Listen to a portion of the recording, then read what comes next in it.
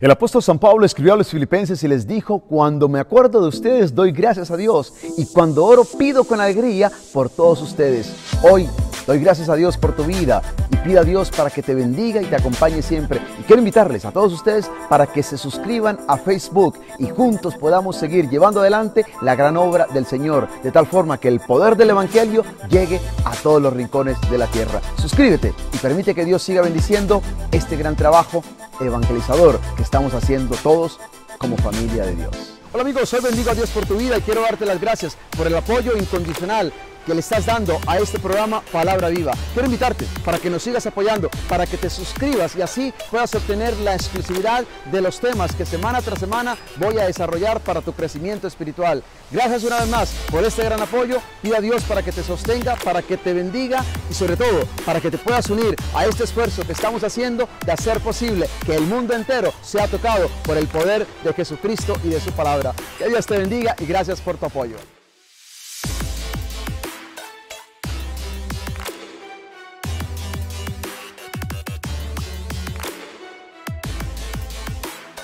¿Qué tal mis amigos? Un saludo muy especial desde estas tierras santas. Estoy en este momento a 575 metros sobre el nivel del mar. Estoy sobre una montaña donde se puede divisar el monte Líbano. Básicamente para ubicarles geográficamente estoy al oeste del mar de Galilea, al este del valle de Israel como también bastante cerca, yo diría alrededor de 8 kilómetros de la ciudad de Nazaret. Sí, Nazaret, la misma ciudad donde se crió nuestro Salvador Jesucristo y donde pasó básicamente su vida privada por cerca de 30 años. Recordemos que a los 30 años prácticamente comenzó su ministerio público. Aquí estoy, sobre esta montaña, desde la cual se puede divisar todo este valle, toda esta llanura con una vegetación bastante espesa, bastante verdosa, un lugar especial. ¿Cómo se llama este lugar? Nada más y nada menos que el Monte Tabor. Sí, el mismo lugar donde Jesús se transfiguró delante de aquellos tres discípulos queridos, Pedro, Santiago y Juan. Pero esta montaña, el Monte Tabor, no solo es conocida por la transfiguración, no, desde muy tiempos remotos, esta montaña, este lugar era considerado un sitio bastante sagrado, bastante santo. De hecho, era un lugar de culto para los cananeos, pero también aquí sucedieron muchos eventos bastante relevantes que los podemos encontrar en la Biblia, como por ejemplo la batalla de Débora y Barak, cuando se enfrentaron a Císara y por supuesto vencieron. El pueblo de Dios venció. Y otras cuantas, yo diría, batallas y eventos que sucedieron en este lugar. Así que podemos ver que este lugar es bastante especial. De hecho, Jeremías, el libro de Josué, los jueces, como también los salmos incluso, nos hablan de este lugar para hablarnos de la belleza de Dios, de la belleza de la creación de Dios. Qué lindo, cuando el pueblo de Dios quería expresar la grandeza de Dios y todo su esplendor, se referían a este monte, porque desde aquí realmente se puede contemplar la hermosura de la creación de Dios. Y es aquí en este monte lugar santo, donde vuelvo y repito, Jesús se transfiguró. Y seguramente ustedes recordarán aquella experiencia cuando Pedro dijo, Señor, qué bueno que estemos aquí. Hagamos tres chozas, una para ti, otra para Moisés y otra para Elías. La verdad es que cuando tú estás aquí, sientes el sentimiento de pronto de Pedro, ¿sí? Como que lo llevas en el corazón y tú dices, realmente Pedro tenía mucha razón. Si este lugar es tan hermoso, sin ver ese momento de gloria como fue la transfiguración, imaginémonos lo que Pedro sintió en ese momento cuando la apariencia de Jesús cambió, cuando sus vestiduras brillaban, estaban blancas y su rostro resplandecía como el sol. Yo imagino ese momento de gloria.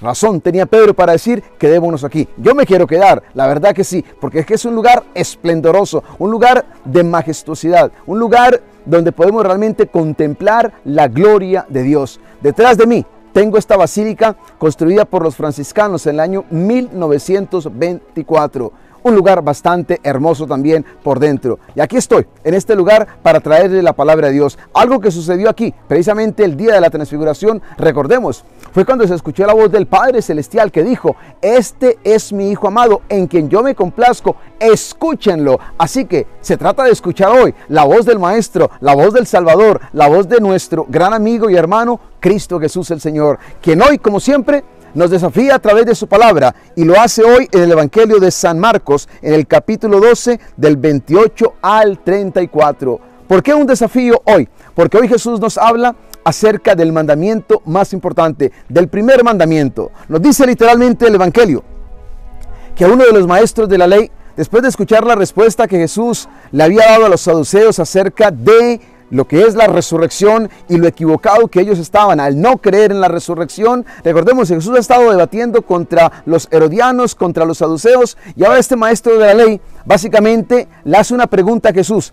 No olvidemos, los maestros de la ley eran expertos en la interpretación de la ley. Y le hace esta pregunta a Jesús. ¿Cuál es el primero de todos los mandamientos? Y Jesús le contestó, el primero es, escucha Israel, el Señor nuestro Dios es el único Señor. Amarás al Señor tu Dios con todo tu corazón, con toda tu alma, con toda tu mente y con todas tus fuerzas. Pero aquí viene lo mejor. Porque Jesús de inmediato siguió y dijo, el segundo es este, amarás a tu prójimo como a ti mismo. ¿Qué hace Jesús? Él pone básicamente dos textos bastante conocidos, ¿sí? Como son el libro del Deuteronomio en el capítulo 6, 5 y también Levítico 19, 18. Y Jesús los junta. Si ustedes se dan cuenta, Él pidió cuál es el mandamiento primero. Y Jesús habló de dos mandamientos. Lo interesante es que los pone juntos. En otras palabras, es que el amor a Dios tiene que estar conectado con el amor a los demás. Yo no puedo pretender amar a Dios al tiempo que no quiero nada con los demás o simplemente no quiero amar a los demás. Estos dos mandamientos no se pueden separar. Amar a Dios, primero que todo, es un privilegio. Y amarlo con todo el corazón. Significa amarlo con toda mi voluntad, con todos mis deseos, con toda mi pasión, con cada pensamiento, con cada acción, con toda la integridad de mi ser. Ciertamente, podemos decir, es fácil amar a Dios. Porque Dios es un Dios bueno, porque es un Dios de misericordia, porque es un Dios de compasión, porque es un Dios de ternura, porque es un Dios que nos ha creado y que nos trata con amor cada día. Es fácil amar a Dios, ciertamente, y es un privilegio poder amar a Dios, vivir inmersos en el amor de Dios. Recordemos que antes de nosotros amarlo a Él, ya Él nos amó primero. Es decir, que cuando nosotros amamos a Dios, lo que estamos haciendo es simplemente responderle a Él con algo de nuestro amor a ese Dios que nos ha amado desde siempre, por siempre nos ha amado y tanto te ama a ti y a mí que un día decidió traernos a este mundo para que vivamos con Él en una relación de amor. ¿Te has preguntado alguna vez por qué Dios te trajo a este mundo? Y la respuesta es simplemente por amor.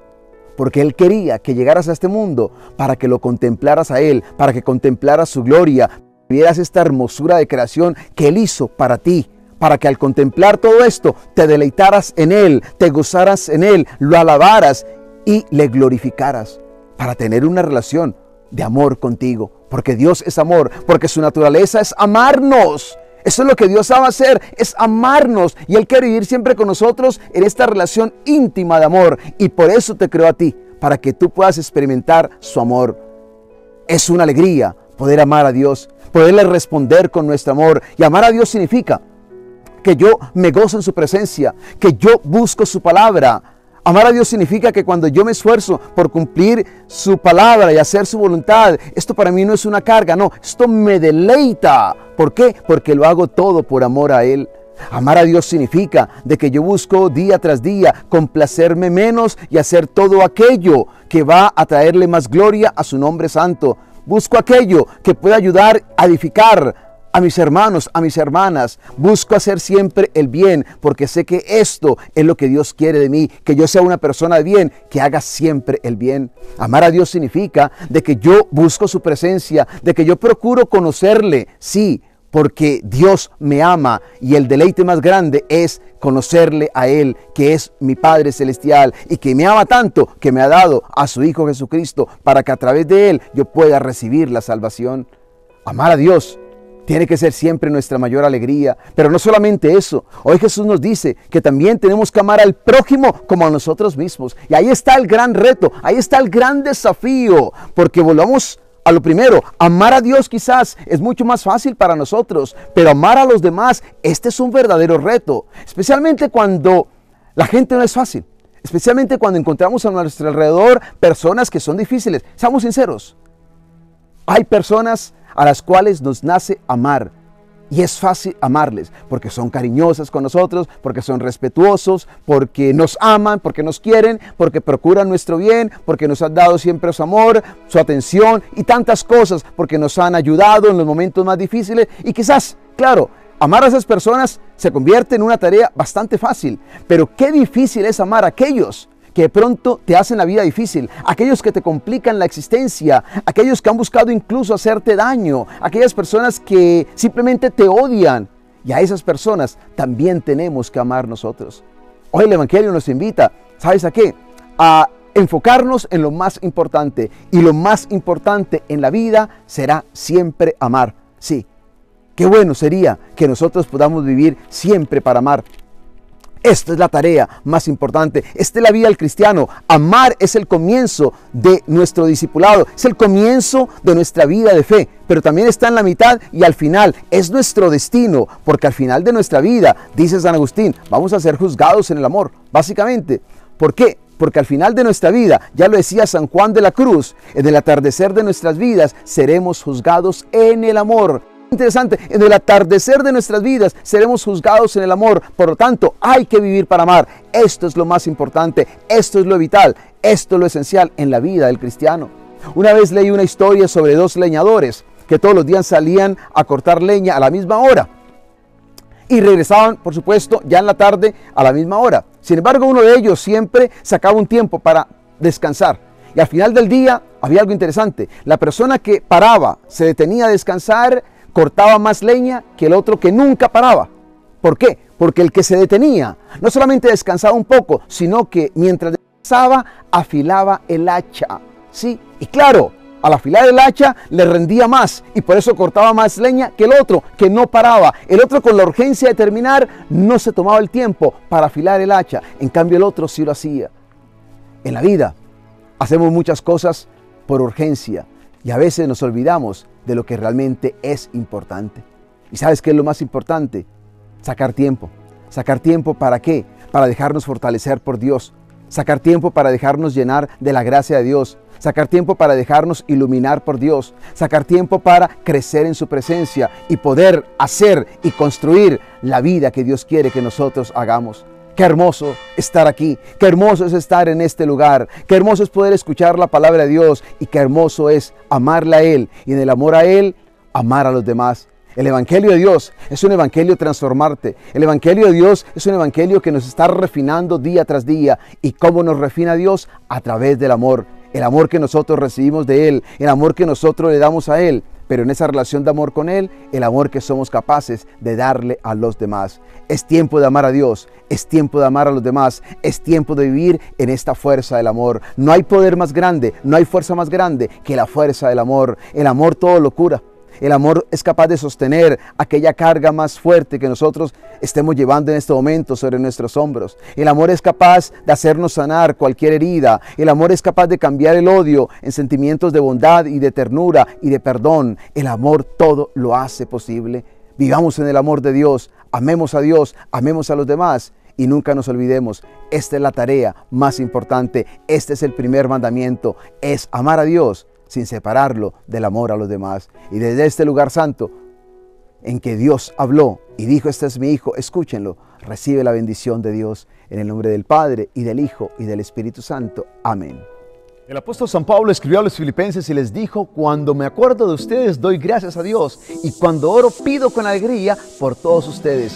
Hoy doy gracias a Dios por tu vida y pido a Dios para que te bendiga y te acompañe siempre. Y quiero invitarles a todos ustedes para que se suscriban a Facebook y juntos podamos seguir llevando adelante la gran obra del Señor, de tal forma que el poder del Evangelio llegue a todos los rincones de la tierra. Suscríbete y permite que Dios siga bendiciendo este gran trabajo evangelizador que estamos haciendo todos como familia de Dios. Hola amigos, soy bendigo a Dios por tu vida y quiero darte las gracias por el apoyo incondicional que le estás dando a este programa Palabra Viva. Quiero invitarte para que nos sigas apoyando, para que te suscribas y así puedas obtener la exclusividad de los temas que semana tras semana voy a desarrollar para tu crecimiento espiritual. Gracias una vez más por este gran apoyo. Pida a Dios para que te sostenga, para que te bendiga y sobre todo para que te puedas unir a este esfuerzo que estamos haciendo de hacer posible que el mundo entero sea tocado por el poder de Jesucristo y de su palabra. Que Dios te bendiga y gracias por tu apoyo.